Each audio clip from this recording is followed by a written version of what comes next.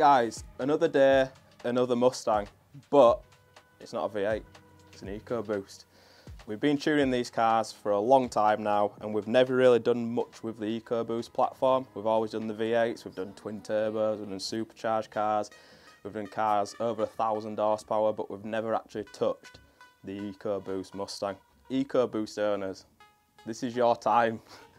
so we've got this car on the dyno eh, and we've been tuning it for the last day and a half developing the software on it. Um, it's a 2020 model car. It's got a Scorpion sports cat downpipe, a cold air intake, front mount intercooler.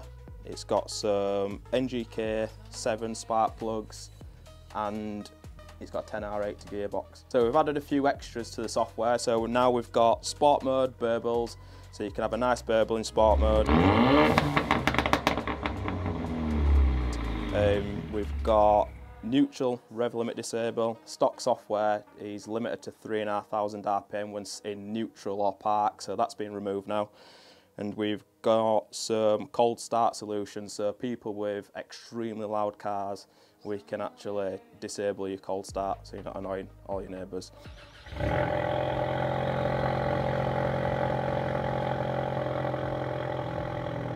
And on top of that, a whole lot more power. So we've basically maxed this setup out. Uh, when this car came in, it ran 266 wheel horsepower and 335, 340 foot-pound of torque.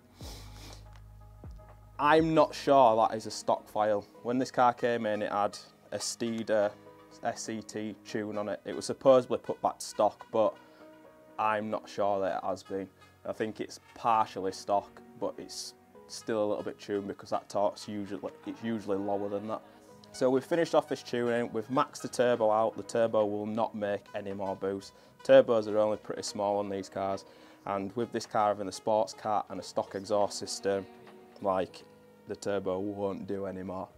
Power is now 320 wheel horsepower and 400 foot-pound of torque at the wheels, so we've actually gained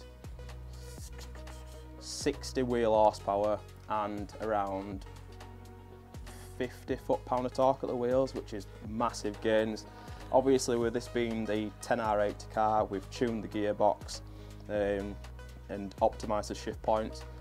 Because we've been able to make more power at the top end, we can raise the rev limit slightly and in turn we can basically shift the car later.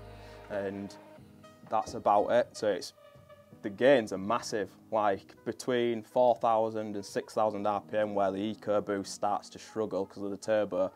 We've actually gained quite a lot of power in that area. So 320 wheel horsepower equates to somewhere around 385, 390 brake horsepower mark. This is tuned on 99 octane fuel and I think, to be fair, that'll feel good on the road. So car is all dialed in. Obviously we're going to be doing some more testing on the road to make sure the gearbox and everything else is happy, but